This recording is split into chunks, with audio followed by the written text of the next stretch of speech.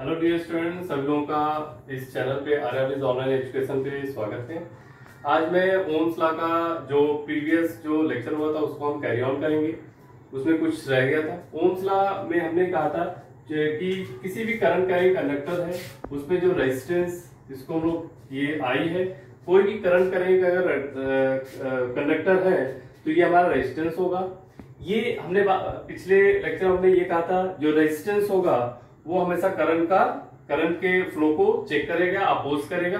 Oppose करेगा तो कुछ तो उसकी जो जो इलेक्ट्रिकल एनर्जी है it will be change in other types of energy like mechanical energy heat energy light energy तो ये एक ला भी है, शायद प्रीवियस क्लास में हम लोग पढ़ भी चुके हैं law of energy conservation rules कि एनर्जी कैनॉट बी क्रिएटेड और cannot be destroy it will be change one form to another form so वही रूल्स इसमें अप्लाई होता है कि ये अगर इलेक्ट्रिकल एनर्जी है तो it will it will be change other types of energy can not be loss तो यहाँ पे बात होती है रेजिस्टेंस की।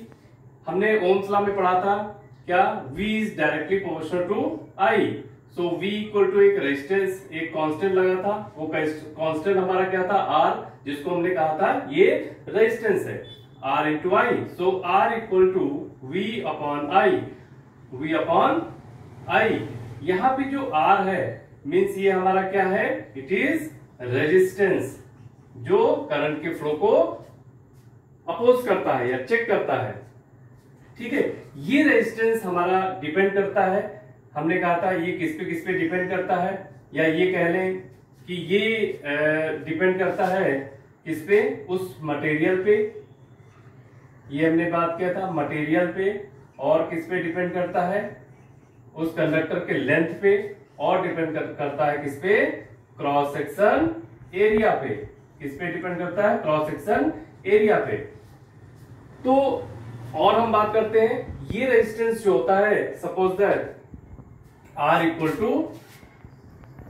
V upon I अगर ये, और ये हमारी वैल्यू क्या है? इट इज़ कांस्टेंट तो अगर V हमारा इंक्रीज करेगा तो हमारा करंट भी इंक्रीज करेगा।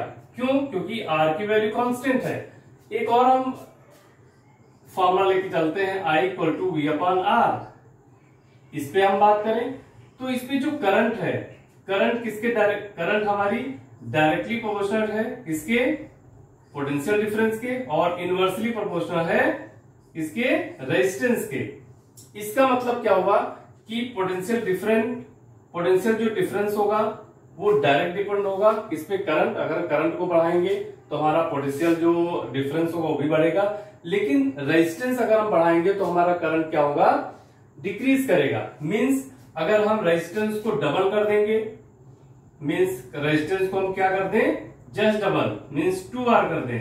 तो हमारा जो करंट होगा, वो क्या हो जाएगा? हाफ़ वैल्यू हो जाएगी। कौन सी वैल्यू क्या हो जाएगी? हाफ़ हो जाएगा। और अगर हम रेजिस्टेंस को क्या कर दे?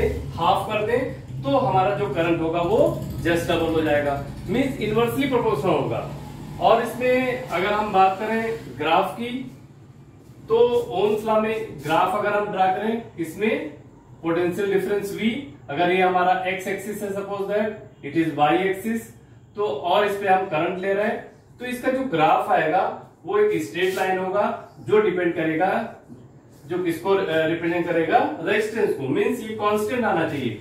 जो भी इसकी प्रैक्टिकल वैल्यू होगी, चाहे ये ए पॉइंट की प्रैक्टिकल वैल्यू हो, चाहे बी और चाहे सी ये सब प्रैक्टिकल वैल्यूज़ होंगी। मीन्स अगर हम v को इंक्रीज करेंगे तो हमारा i भी इंक्रीज करेगा। मीन्स ये क्या आना चाहिए? हर प्रैक्टिकल वैल्यू पे r की वैल्यू क्या आनी चाहिए? कांस्टेंट होनी चाहिए। तो ये हमें प्रूव हो जाएगा कि ये जो हमने प्रैक्टिकल किया है, या ये जो हम रूल लेके चल रहे हैं, वो ओम्स लॉ को फॉलो कर रहा है। अगले लेक्चर में हम बहुत सारे पॉइंट्स को या बहुत सारे पॉइंट्स को एक्सप्लेन करने वाले हैं। तब तक के लिए धन्यवाद।